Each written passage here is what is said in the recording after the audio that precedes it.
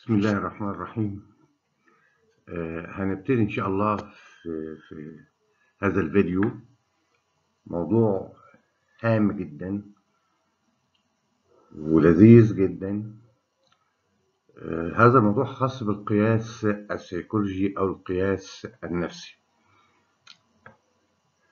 هذا القياس السيكولوجي قائم على فكرة هي إذا وجد شيء فإنه يوجد بمقدار. وإذا وجد بمقدار فإنه يمكن بل يجب قياسه. معنى كده إن كل ما هو موجود موجود بمقدار ومن ثم يجب قياسه أي ترجمته إلى رقم أو عدد. وهذه هي الفكرة الأساسية الخاصة بعملية القياس والمنطق الذي يعتمد عليه القياس السيكولوجي. في الشريحة التالية هنستعرض ما هي أنواع المثيرات الخاصة بالقياس السيكولوجي؟ في عندي مجموعة من الاختبارات السيكولوجية عبارة عن مجموعة من المثيرات المرتبة والمنظمة التي تقيس بطريقة كمية أو وصفية. بعض العمليات الإنفعالية أو العقلية أو النزوعية ودي بتترجم في أنواع معينة من هذه المثيرات زي مجموعة من الأسئلة أو الرسوم أو الأشكال عشان كده الاستمارة بتاع الاستبيان اللي بنجمع بيها البيانات تتضمن مجموعة من الأسئلة لها أصول في تصميمها وبالتالي هذه الأسئلة تمثل مثيرات تحرك ما بداخل المفردات محل البحث أو محل الدراسة ضمن العينة بتاعتنا علشان نتعرف على الاتجاهات الخاصة بها نحو شيء معين أو شخص معين أو فكرة معينة أو موضوع معين. في عندي استفسار بيقول هل توافق على أن القياس والتقويم لفظان مترادفان؟ إحنا اتفقنا وعرفنا إن القياس يختلف عن التقويم. القياس هو ترجمة السمة إلى رقم أو عدد. التقويم أشمل وأعم من القياس وبالتالي كل تقويم سابق له قياس ونجاح التقويم يتوقف على نجاح عملية القياس سواء كان في أداة القياس أو في كيفية استخدام هذه الأداة للوصول إلى ما نرغب في قياسه عشان كده قلنا صدق الاختبار إن إحنا نتأكد إن هذه المثيرات تقيس ما نرغب في قياسه. فإذا القياس والتقويم لفظان غير مترادفان وبالتالي نحن غير موافقين على الإطلاق أن كلاهما اللي هو القياس والتقويم لفظان مترادفان القياس بيعني إن إحنا بنعبر كميا زي ما اتفقنا قبل كده عن الظواهر ما مقدار كذا رقم عدد. وإحنا عرفنا وهناخد بعد شوية ضمن هذا الموضوع الخاص بالقياس السيكولوجي مستويات القياس الخاصة بينا. ما مقدار ولاء العملاء؟ ما مقدار رضا العملاء والعاملين في منظمة معينة؟ ما هي درجة تفضيل مجموعة من الأشخاص لعلامة تجارية معينة أو سلعة معينة؟ ما هي درجة موافقة كل منا على ما نرغب في قياسه؟ ذلك يعني أن القياس هو ترجمة ما نقيسه إلى رقم ما مقدار كذا. أما التقويم هو أعم وأشمل لأنه يعتمد على القياس وناتج هذا القياس يقارن بمعيار معين للحكم على قيمة هذه الدرجة الخاصة بالصفة التي نخضعها للقياس.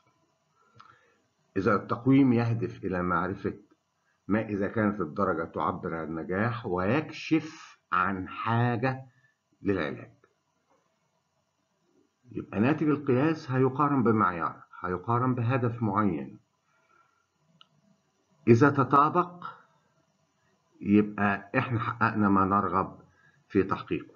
إذا كان هناك انحراف فيجب أن نتدخل لاتخاذ قرار بالعلاج. أي إعادة الوضع إلى حالته الطبيعية. عشان كده بقول لحضراتكم كل قياس ناجح يجب أن يسهم في تقدم عمليات التقويم لم يتقدم الطب إلا بتقدم أجهزة التشخيص التي تعتمد على التعبيرات الكمية لما يتم قياسه. عشان كده نتيجة أجهزة التشخيص بينتج منها قياسات تتفاوت الأشعة العادية غير الألتراسونيك غير آه، الأشعة المقطعية غير المسح الذري. كل هذه الأجهزة الخاصة بالتشخيص تتقدم نتيجة أنها تخضع ما تقيسه بمستويات دقة أعلى وبالتالي أمام الطبيب أو المعالج نتائج رقمية فيستطيع أن يتدخل بإعادة الوضع إلى حالته الطبيعية. ترى ماذا ولا ماذا نقيس يعني إحنا بنقيس إيه وليه؟ بنقيس إيه يبقى لازم أحدد السمات التي نرغب في قياسها التي تتعلق بالأفراد اللي هي مفردات العينة زي ما هنعرف وعاوز أقيس ليه أي ما هو الهدف من عملية القياس. لا شك أن القياس بيشخص ونيجي نقارن ناتج هذا القياس بمعايير أو بأهداف معينة أو معدلات طبيعية معينة متعارف عليها للسمة التي نخضعها القياس أو ما نرغب في أن نصل إليه كهدف. ونتخذ قرارات بعد كده آه، في إن إحنا ننقل الوضع من وضع إلى وضع أفضل. آه، يبقى الهدف مننا إن إحنا نكشف عن الفروق بأنواعها المختلفة. ليه؟ عشان نقول إحنا نعمل إيه؟ ماذا نفعل لكي نحقق ما نرغب في تحقيقه؟ نيجي بعد كده بيقول لك ما هي الأسس التي يبنى عليها القياس النفسي أو القياس السيكولوجي؟ المنطق الخاص بينا اتفقنا أن كل ما يوجد يوجد بمقدار وما يوجد بمقدار يجب قياسه أي إخضاعه وترجمته إلى رقم معين أو إلى عدد آه، معين. آه، كل الأفراد طبعا عندهم استعدادات وعندهم ميول. وعندهم سمات مختلفة. وهذا الاختلاف اختلاف في الدرجة وليس في النوع. يبقى ضمن الأسس اللي بيبنى عليها القياس النفسي أن هناك اختلافات بين الأفراد بس هذه الاختلافات اختلافات في الدرجة آه، أي اختلافات في قيم هذه السمات أو هذه الاستعدادات أو هذه الميول. الاختبار السيكولوجي أو القياس السيكو- السيكولوجي يعتمد على عينة من سلوك الفرد أو سلوك الأفراد وإن هذا السلوك يتكرر في المواقف المتماثلة. معنى كده إن أنا لازم أخد عينة تمثل المجتمع بتاعي تمثيل صادق في الخصائص التي نرغب في قياسها حتى نستخدم ناتج القياس في تعميم نواتج العينات على المجتمع ككل. كل ما نحصل عليه من هذه القياسات لا قيمة لها ما لم تقارن بمعيار معين. عشان أقدر أحدد أنا فين بالظبط. زي ما اتكلمنا قبل كده في البيانات الرقمية والمتغيرات الكمية إن متوسط درجة الحرارة الطبيعية للشخص 37 لكن هناك أشخاص طبيعيين درجة حرارتهم أقل من 37 وأشخاص طبيعيين أيضا درجة حرارتهم أزيد شوية من 37 لكن أغلب الناس في العالم درجة لا مش درجة بقى متوسط درجة حرارة الطبيعية. هو 37 فاتخذ هذا كمعيار عند الأطباء. فبعد ناتج عملية القياس بالترمومتر بقارن. وهكذا الشركات بتحدد أهداف وتتخذ هذه الأهداف كمعايير وتقارن ما تم تنفيذه في الواقع الفعلي بهذه الأهداف بعد حسن صياغة هذه الأهداف. ونستطيع بعد كده أن نرى ما هي الانحرافات عما كنا نرغب في تحقيقه. يبقى إذا الأهداف هي معايير معينة في مختلف المجالات. وبالتالي نواتج القياس السيكولوجي بتقارن بنقارنها بهذه المعايير أو بهذه الأهداف للحكم عليها. واتخاذ قرار بمدى التدخل لعلاج الوضع إلى حالته الطبيعية. هناك فروق بنكشف عن هذه الفروق باستخدام القياس السيكولوجي فهناك فروق بين الأفراد فنعمل تصنيف لهؤلاء الأفراد زي ما اتفقنا التصنيف حسب النوع تصنيف حسب مستويات التعليم التصنيف حسب مستويات الدخل التصنيف حسب أماكن الإقامة في المناطق الجغرافية المختلفة. بصنف دي بنسميها فروق بين الأفراد فيما يتعلق بسمات مختلفة. وهناك فروق في ذات الفرد إمكانيات كل منا مختلفة. وكل منا يسعى إلى أن يطور هذه الإمكانيات فهي تتغير من وقت إلى وقت آخر سواء كان إيجابي أو لا سمح الله سلبي فالقياس السيكولوجي يكشف هذه الإمكانات في ذات الفرد ومن ثم في ذوات الأفراد نفسها في فروق أيضا بين الجماعات زي فروق معدلات الأداء من قسم إلى قسم أو من إدارة إلى إدارة ومن قطاع إلى قطاع ومن مؤسسة أو شركة إلى شركة أخرى.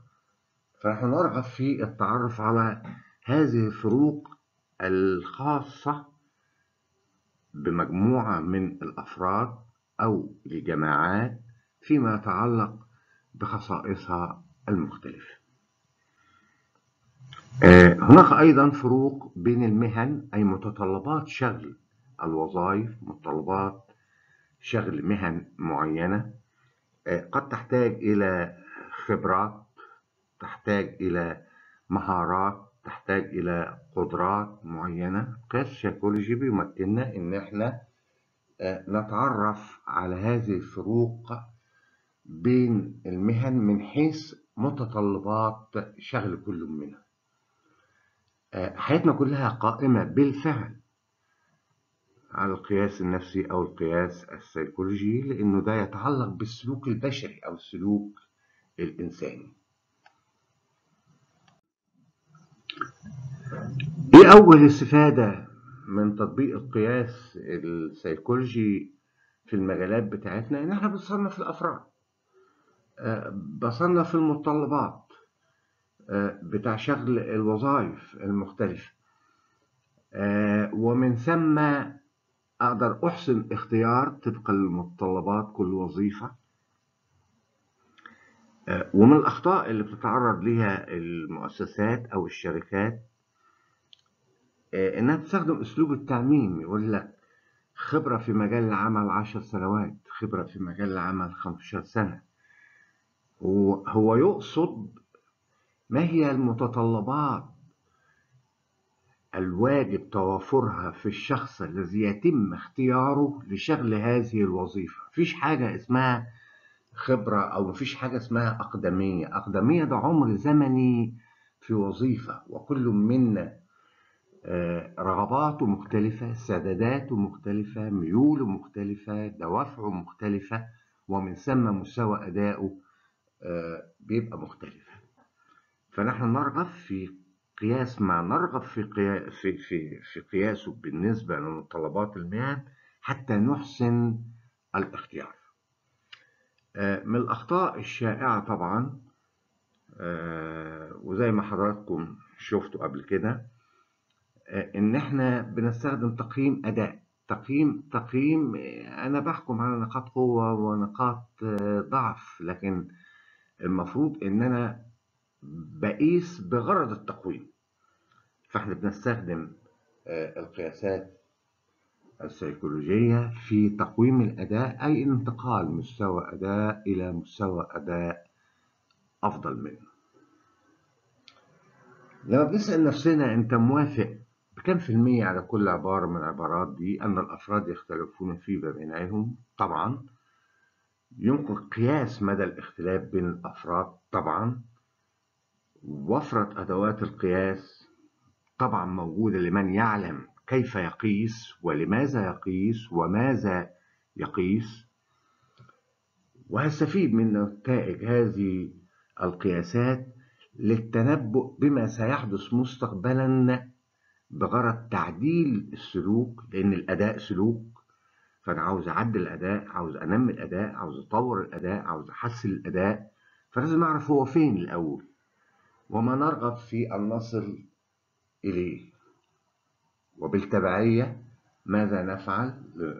للارتقاء بمستوى الأداء من مستوى معين إلى مستوى آخر أفضل منه. فلازم أعرف أنا فين الأول وبعدين أنا عايز أروح فين. مفيش حد هيقدر يقول لي الكلام ده إلا لو أخضعنا كل هذه الأمور إلى عمليات القياس.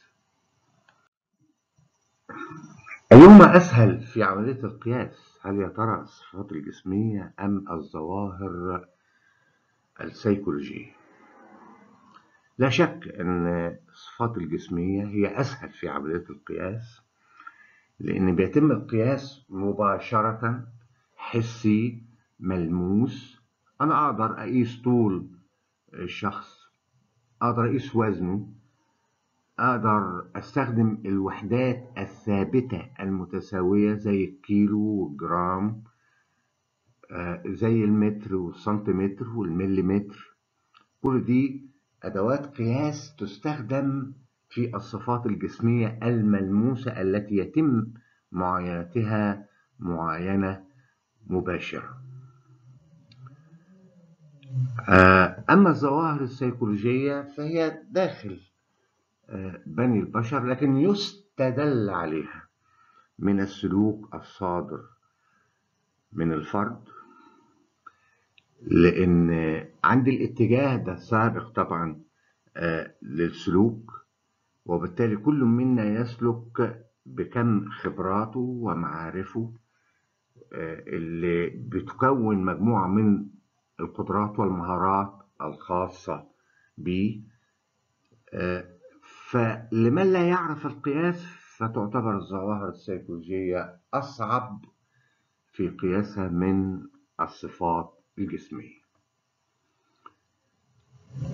آه عشان كده بنقول ليه الصفات الجسمية أسهل؟ إنها بتاخد شكل قيم طول وزن ارتفاع عرض. آه في نفس الوقت المقاييس بتاعتها متوافرة. وكلنا عارفين المتر وعارفين الكيلومتر وعارفين الكيلو جرام وعارفين الجرام فدي أدوات قياس ثابتة ومتساوية في كل أنحاء العالم. وزي ما اتفقنا من شوية إن هذا القياس الخاص بالصفات الجسمية يتم بطريقة مباشرة مع ثبات وتساوي وحدات القياس لهذه الصفات الجسمية المادية الملموسة التي يتم معاينتها معاينة مباشرة. آه، أما الصفات والخصائص الخاصة بالظواهر السيكولوجية هي بتعبر عن آه، سمة معينة زي اتجاه زي رأي آه، وفي صعوبة نسبية للقياس لكن الآن مع تقدم الأساليب الرياضية والإحصائية ومع حسن تصميم أدوات القياس نستطيع أن نقيس بمستويات دقة مرتفعة. وكل المقاييس الإحصائية بنستوثق من دقة نتائجها. ممكن نصل لو عندنا كم هائل من البيانات قواعد بيانات لو فيها وفرة وقواعد بيانات تكون محدثة ومتكاملة ودقيقة. نصل طبعا إلى نتائج في القياس مرتفعة جدا. وعشان كده بنحاول إن إحنا نخلي أداة القياس السيكولوجي ثابتة ومتساوية. زي ما حضراتكم فاكرين إن في مستوى وهنجيله بعد شوية مستوى اسمي ده تصنيفي فقط. ما بيقوليش درجة بيقول لي عدد أفراد ينتموا إلى فئة معينة. السكيل الترتيبي أو بيديني ترتيب بين مجموعة من البنود. زي ما هنشوف برضه بعد شوية لكن أنا مش عارف هل هذه الفروق متساوية بين درجة تفضيل رقم واحد ورقم اتنين ورقم تلاتة ولا إيه الحكاية؟ أنا رتبت وكل منا بيرتب طبقا لاتجاهاته وطبقا لما يشعر به لكن هل هذه الفروق بين هذه البنود اللي خدت ترتيب واحد اتنين تلاتة فروق متساوية؟ لا طبعا ارتقينا شوية برضو هنتناوله قدام. آه مقياس الفئات المتساوية. إن إحنا ثبتنا آه الفروق بين الفئات لما كنا بنقول موافق تماما موافق موافق إلى حد ما غير موافق غير موافق على الإطلاق. آه وكنا عاطينا درجات. ده مقياس المقياس بتاع ليكرت معروف طبعا. قد يتخذ شكل خمس فئات أو سبع فئات أو تسع فئات. فبدي الفئة الأولى اللي هي موافق تماما خمسة من خمسة وأربعة من خمسة للموافقة بس. وموافق إلى حد ما ياخد ثلاثة وغير موافق ياخد اتنين وغير موافق على الإطلاق ياخد واحد. هذا المقياس أفضل طبعا من الترتيب وأفضل من الاسمي إن إحنا بنحاول نخلي الفروق بتاعته فروق متساوية لكن في حقيقة الأمر لا يتضمن الصفر المطلق اللي اعتمد عليه المقياس النسبي وهو أرقى موازين القياس.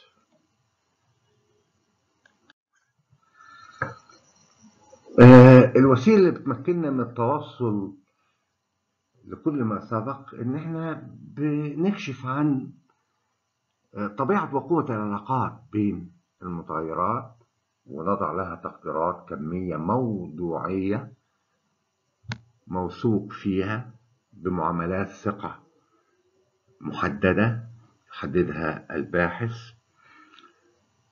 لأن مفيش حاجة مئة في المئة لأن في جانب خطأ. فلو معامل الثقة بتاعي 95% ذلك يعني أن هناك خطأ لم نستطع أن ندرك متغيراته بمقدار 5% وفي نفس الوقت إن إحنا بنكشف الفروق بأنواعها ونحدد مدى جوهريتها أو مدى صحتها أو مدى حقيقيتها كل دي هتطلع طبعا باستخدام الأساليب الرياضية والأساليب الإحصائية. وبالتالي بقى أقدر أتعامل مع هذه التغيرات لأن إحنا اتفقنا برضو أن المتغير المستقل هو المؤثر والمتغير التابع هو الذي يتأثر. فبأي درجة يؤثر المتغير المستقل على المتغير التابع في تغيره؟ مش هقدر أوصل لكده إلا عن طريق هذه القياسات النفسية والقياسات السيكولوجية. عندما تكون أداة القياس تم تصميمها بأرقى موازين القياس.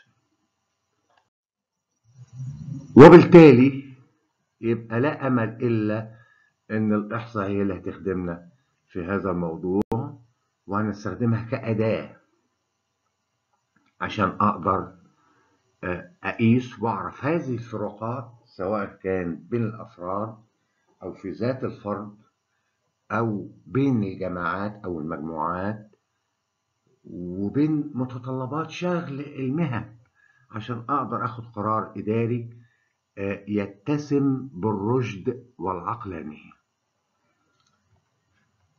وبالتالي أقدر أحدد ماذا نفعل وفي أي اتجاه نفعل.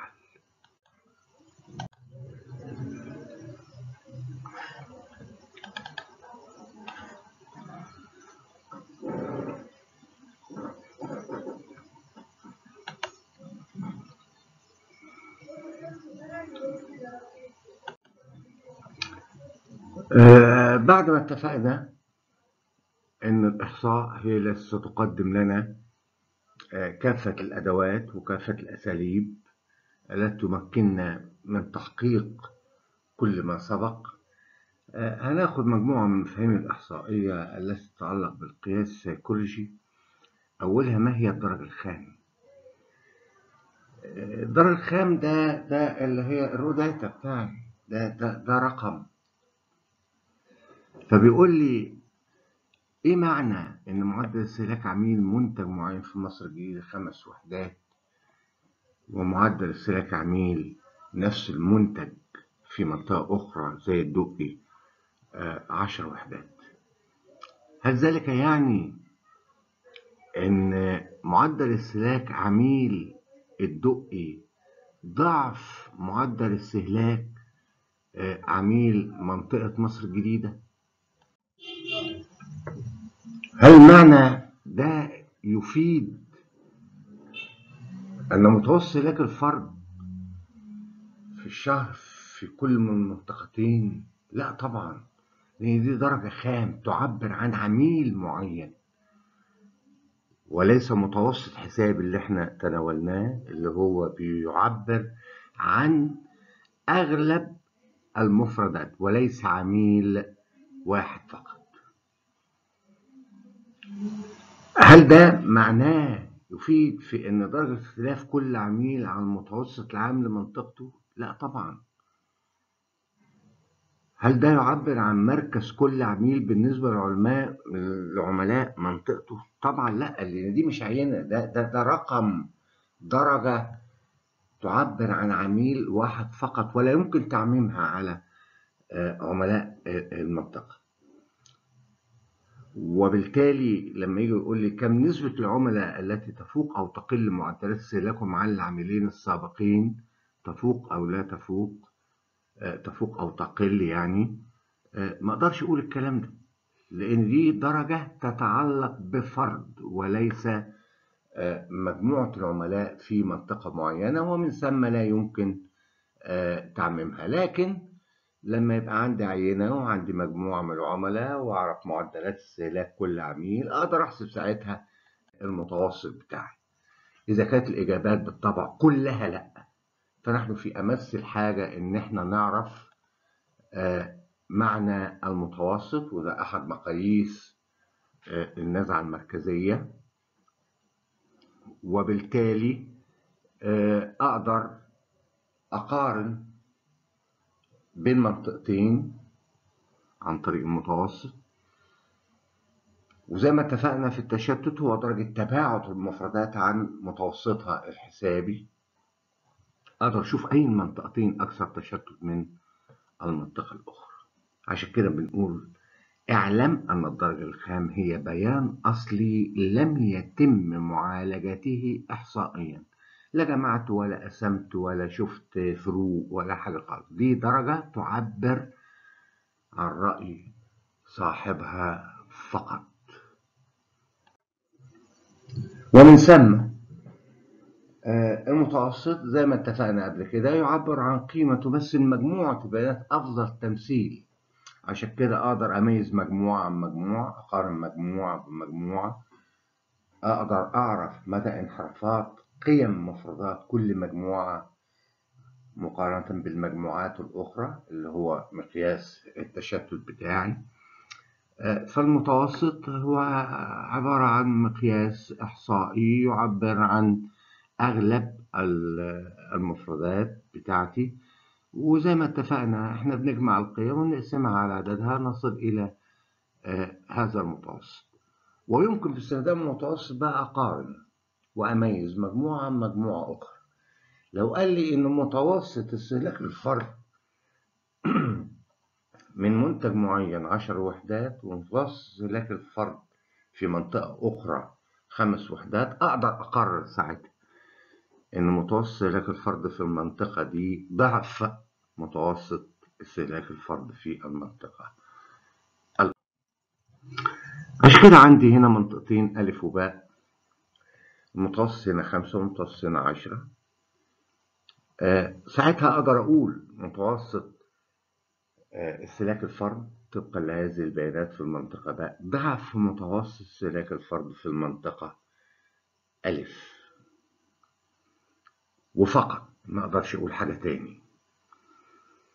لما يقول لي كم عدد القيم التي تقل وتزيد على المتوسط لا يبقى لازم أحسب بقى الفرق بين 3 و5 و6 و5 و7 و5 و5 و5 و4 و5 في منطقة ألف. وأقدر أحسب الفرق بين 8 و10 اللي هو المتوسط في المنطقة باء و10 و10 و12 و10 و11 وعشرة وتسعة وعشرة. يعني أنا محتاج ساعتها إن أنا أحسب ما يسمى مقياس التشتت اللي إحنا قلنا عليه. وهنعرفه اللي هو الانحراف المعياري عشان كده بقول لي إذا أردت أن تقيس مدى قرب أو بعد البيانات الأصلية عن المتوسط ماذا نفعل؟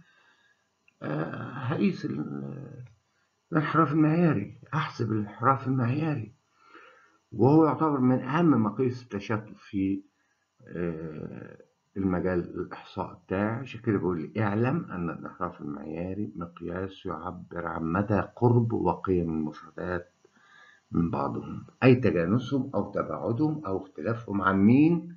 عن المتوسط الحسابي وإحنا اتفقنا قبل كده في الفيديو السابق إن كل ما كانت الانحرافات صغيرة كل ما دل على التجانس وكل ما كانت الانحرافات كبيرة دل على التباعد أو عدم التجانس. هنا أعطاني مجموعتين. المجموعة الأولى متوسط بتاعها خمسة والمجموعة الثانية متوسطها خمسة. آه بيقول لي طالما أن المتوسطين متساويين إذا تشتت كلا المجموعتين يجب أن يكون متساويين. خطأ طبعا. ليه؟ لأن إحنا ما حسبناش الانحراف المعياري للمجموعة الأولى وما حسبناش الانحراف المعياري للمجموعة الثانية رغم تساوي المتوسطين لكلا المجموعتين. يبقى اللي هيقول لي أيهما أكثر تشتت هو الانحراف المعياري. فكل ما كبر الانحراف المعياري دل على عدم التجانس كل ما صغر الانحراف المعياري دل على التقارب أو التجانس بين المفردات وبين المتوسط الحسابي الخاص به عندي منحنى اسمه المنحنى الطبيعي أو المعتدل أو المتماثل أو ما يطلق عليه المنحنى الجرسي عامل زي الجرس المقلوب يعني. وبالتالي أغلب الظواهر في العالم لازم تخضع لهذا التوزيع وبالتالي إذا كان هذا التوزيع موجود يبقى إذا الظاهرة فيها تماثل وفيها اعتدال في فروق زيادة عن المتوسط وفروق زيادة أقل من المتوسط لكن هلاقي المنحنى كده لا ملتوي جهة اليمين في قيم شاذة جهة اليمين بالزيادة ولا ملتوي جهة اليسار في قيم شاذة بالسالب. وبالتالي لما أقول مثلا متوسط دخل الفرد في الشهر خمس آلاف جنيه. ما أنا عندي أفراد بياخدوا ألف جنيه. وعندي أفراد بياخدوا عشرة وعشرين وتلاتين وأربعين ألف جنيه. هذه الحرفات عن المتوسط العام للدخل الخاص بالفرد بيقول لنا هنا في حاجة مش مظبوطة. محتاجين نعيد توزيع الدخول بطريقة عادلة عشان كده سميناه المنحنى المعتدل بطريقة طبيعية متماثلة. في فروق ستظل في فروق. لكن هذه الفروق هتبقى عند حدها الأدنى. ساعتها يبقى فيش قلق بقى في تقارب في تجانس بدرجة معينة لكن سيظل هناك فروق عن المتوسط. أه بتحقق أدي قدامي أه منحنيين طبيعيين أه معتدلين الاثنين ألف وباء طبعا كلا المنحنيين كانوا نتجوا من تأثير متغيرات خاصة بظاهرة ما وبيسألني سؤال أي الظاهرتين أكثر تجانسا ولماذا؟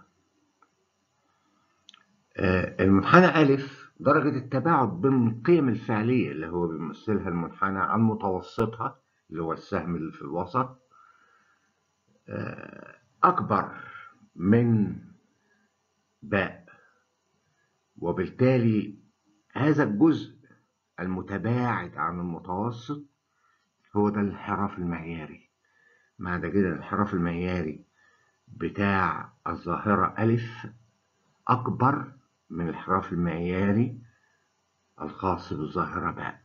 ومن ثم الظاهرة باء تعتبر أكثر تجانس لتقارب المفردات قيم المفردات الفعلية نحو المتوسط الخاص بها. لكن الانحراف المعياري للظاهرة ألف أكبر وده بيدل على التباعد يدل على الاختلاف يدل على عدم التجانس رغم أن كلاهما موزعين توزيع طبيعي أو معتدل.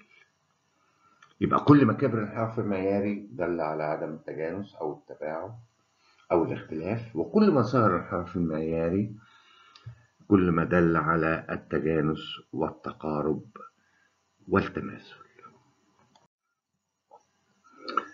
آه أنا شغال في المتوسط الانحراف المعياري لكن لازم نتحقق آه من صحة النتائج بتاعتي أي نتحقق من درجة الدلالة الخاصة بها.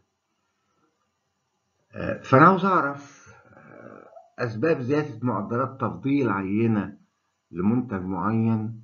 هل يا ترى هي راجعة لجودة المنتج ولا بنسبة الأسعار ولا بنسبة العبوة بتاعته ولا فعالية برامج الترويج ولا عديد من الأسباب؟ فلازم عشان أفسر لازم أتحقق ولازم أثبت جوهرية هذه الفروق. أم أم أن الباحث لم يستطع أن يدرك متغيرات كل المتغيرات ذات التأثير في اختلاف الظواهر. آه كل ما كانت الدلالة الإحصائية أكبر كلما دل عشان كده سميناها دلالة إحصائية؟ كلما دل على أن الباحث أو متخذ القرار يعني استطاع أن يدرك بفكره وتوليد ال brainstorming بتاعه هو والفريق بتاعه ان هو يدرك أغلب المتغيرات ذات التأثير على الموقف اللي هو موجود فيه. لكن لو كانت غير دالة أو درجة الدلالة الإحصائية بتاعتها قليلة يبقى ما قدرناش نوصل لماذا هذه الفروق. ما نقدرش نقرر ما نقدرش ناخد قرار. عشان كده بنقول الدلالة الإحصائية تهدف فيها كشف عن مدى صدق النتائج المستحصل عليها من العينات بتاعتي. علشان نتائج العينة ستعمم على المجتمع. فلازم نتحقق من درجة مصداقية هذه النتائج بتاعتي. العينة دي جزء من كل. وحياتنا كلها الحقيقة قايمة على موضوع العينات. نقول أنا هاخد عينة دم. أنا بحكم على سلامة مكونات الدم في الجسم. بناء على عينة 3 4 5 سنتي.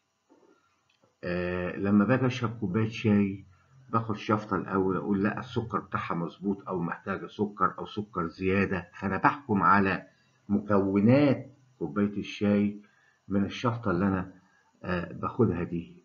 وهذه الشفطة هي جزء من الكوباية. زي 3 4 5 سم دم هي جزء من الدم الخاص في جسم الإنسان. آه وبالتالي أنا بلجأ للعينات لأن أنا مش هقدر أعتمد على حصر الشامل لكل مفردات مجتمع البحث ده هيكلفني كتير جدا وهياخد مني وقت كتير جدا ومش هقدر أحكم الإشراف والرقابة على دقة البيانات المستحصل عليها من كل مفردات المجتمع.